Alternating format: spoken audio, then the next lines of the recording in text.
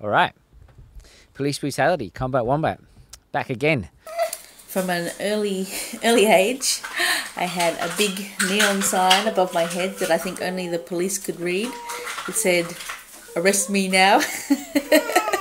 um, yeah, they could smell me from a mile away. Um, you know, they drove past me, they'd do a U-turn on the street.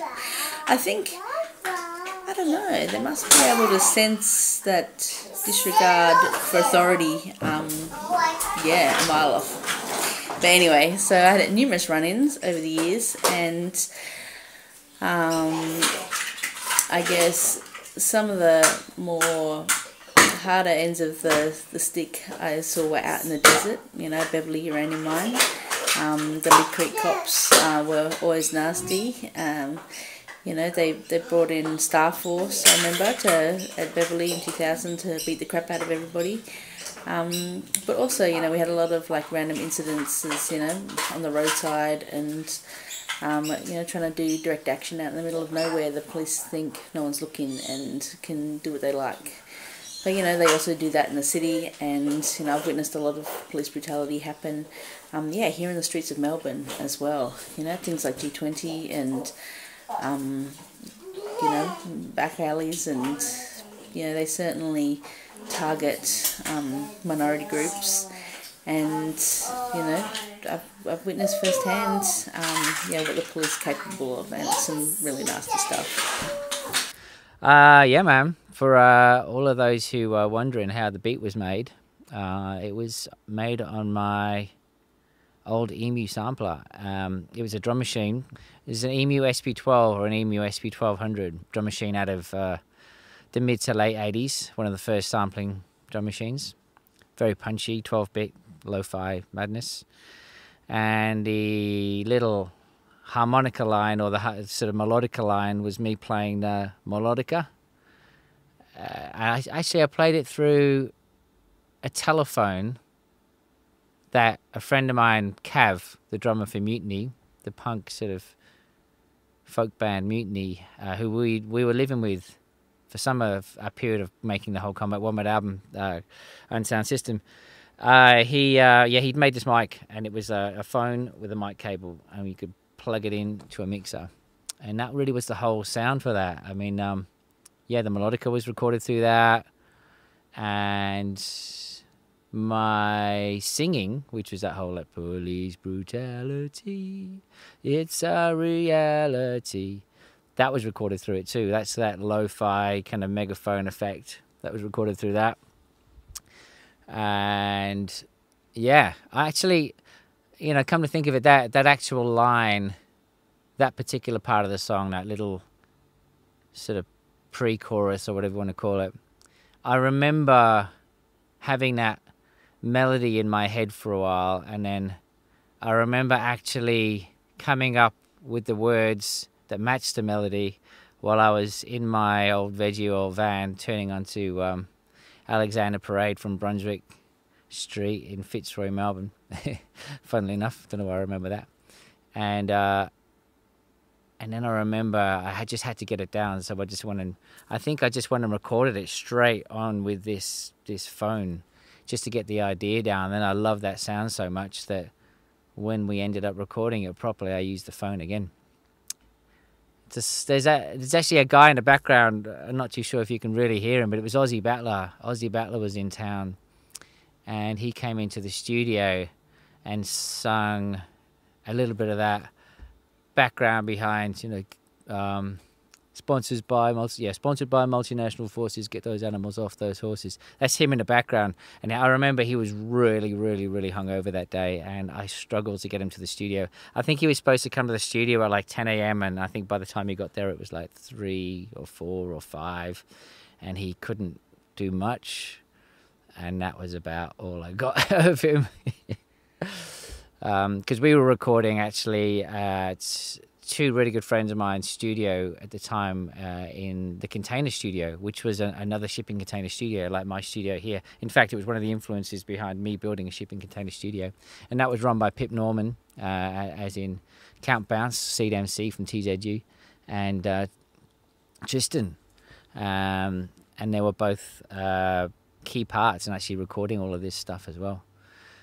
When I first wrote uh, the chorus for Police Brutality, which was um, sponsored by multinational forces, get those animals off those horses, um, that particular line was inspired by the protests at S11 and S11 was a massive demonstration um, against globalization at the Crown Casino. And we surrounded the whole of the Crown Casino with, um, you know, huge human blockade.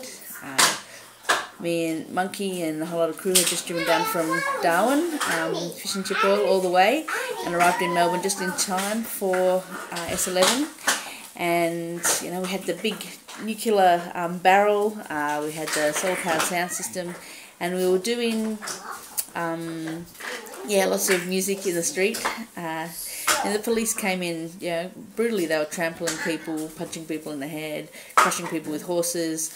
Um, at one point, I even saw a, a undercover police car run over a protester, and they didn't stop. They just dragged her body under the car and kept going, and then sped off. So you know, it was certainly a hot spot um, for police brutality, and it was on the last day that I was walking around the casino that was kind of more like a war zone than a city street, and I saw a massive, big, like concrete bollards that they had surrounding the um, casino, and on it was written, "Get those animals off those horses." And behind that concrete bollard were rows of police on horses, and that was such an iconic image. You know, it stuck in my mind um, until this day.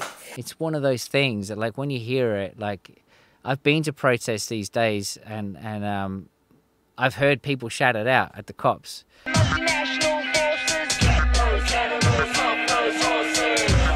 the music video for Police Brutality was um, put together by Dragonfly um, animation production crew. Um, yeah, they they heard the song and volunteered their time to um, yeah make it happen. So I drew a few pictures and yeah they brought it to life.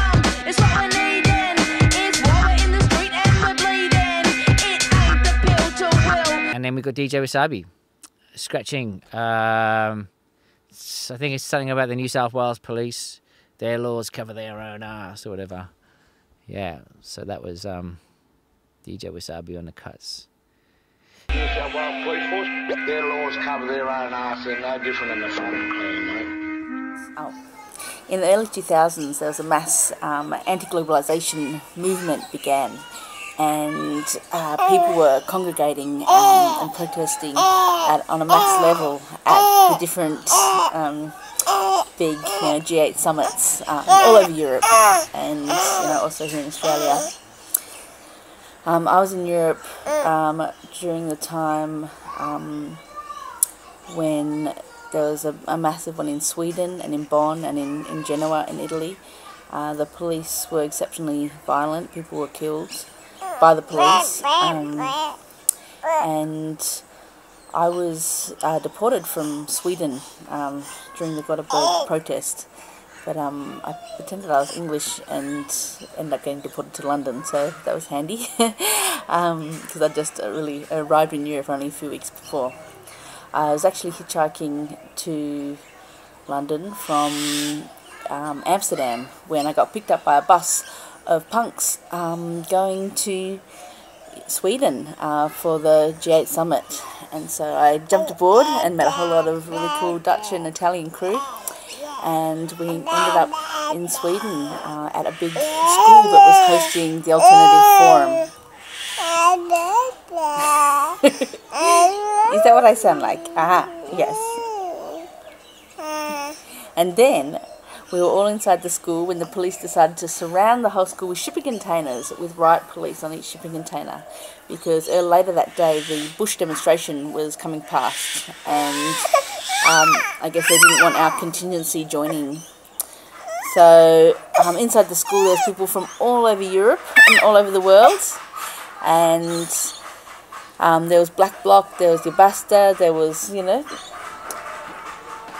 all sorts. So there was only one spot where they hadn't left a shipping container, and we tried to barge our way out uh, with Basta in the front, everyone else in the middle, and Black Bloc in the back. Um, there was lots of cobblestones thrown, and um, I think I even got hit in the head with a cobblestone at one point while trying to film. Um, but we ended up getting pushed back into the school where we barricaded ourselves in. And was at that point, after many meetings, that we decided that as the Bush demonstration was coming through, a couple of us were going to make a break for it. So I think it was me and a few guys from Germany. Um, we made a run for it, and as I climbed up on the shipping container, um, I looked up, and there, um, standing on my fingers, was a riot cop. Um, luckily, some of the guys made it over and managed to stage dive off the shipping containers into the crowd. But um, I wasn't so lucky, and I got put on a bus and taken to the, to the detention centre. But um, it was the detention centre actually turned out to be a pretty cool place to be because uh, they had computers and they had internet, and the police had already raided the indie media that were supposed to be putting out the media for the protest. But in the detention centre, um, we had people speaking 20 different languages and doing media directly from there um, and getting the message out to the world what was going down in Gothenburg that week. oh, really? Oh, really? Um, so yeah, at one point in the Reclaim the Streets in Gothenburg, police opened fire um, on the crowd and a few people were shot. I think people, one guy even died later on. Um, yeah, and that was the start of a, a really intense season for the anti-globalization movement, um, and quite a few other protesters died after that in Europe. So yeah, it was in the detention centre in Sweden that I wrote the first verse for police brutality. Uh huh. And what else happened? Is that it? I think so. Ciao for now.